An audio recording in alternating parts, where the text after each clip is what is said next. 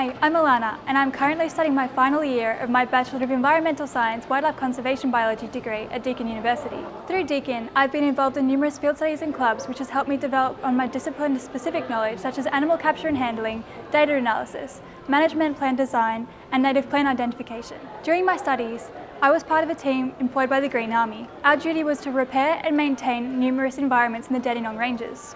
This allowed me to work on my management plan design skills as well as work on my community engagement skills. It also helped me with my teamwork, communication and conflict resolution skills. I was also provided with a number of accredited conservation certificates.